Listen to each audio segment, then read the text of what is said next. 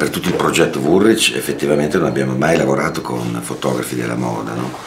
eh, da qui una scelta anche di continuità, eh, anche progressuale con autori della fotografia. L'idea del, del, teatro della vita, del teatro delle cose, e soprattutto anche l'idea di, eh, di una, memoria che secondo me è interessante citare, che è una memoria ehm, che, che, Paolo probabilmente condivide come artista con noi, che è quella di, eh, di un prodotto, Woolrich, che comunque ha una lunghissima storia. Tutto il nostro percorso di Woolrich rappresenta un'azienda che è un pezzo di storia americana.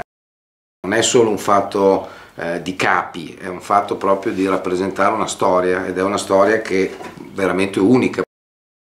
Noi abbiamo sempre fatto abbigliamento fin dal 1830 per chi vive all'aria aperta, poi oggi vive all'aria aperta in una situazione urbana, ieri vivevi in una situazione molto più legata alla certo, natura, al certo. mondo eh, dell'interperie, diciamo. È stato poi molto interessante anche il, il, il fatto di trovare in Paolo un, un appassionato dell'abbigliamento che ha comunque un archivio tessile e di capi molto interessante che secondo noi si fondeva molto bene con l'immagine della campagna che volevamo rappresentare.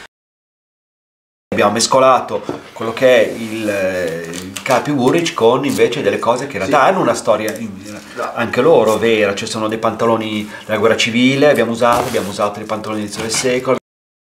Il fondale dipinto dà, dà, mi dà la possibilità di raccontare delle storie mm, anche molto surreali il, fond il fondale dipinto crea un'immagine di un luogo che tu ti immagini che continui oltre il fondale.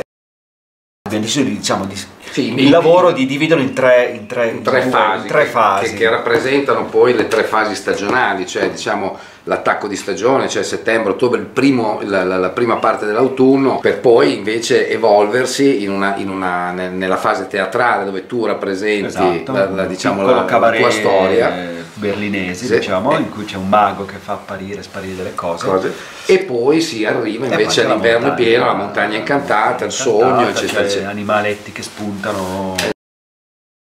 Questo gioco di passato e presente, secondo me, in questa campagna potrà funzionare molto bene.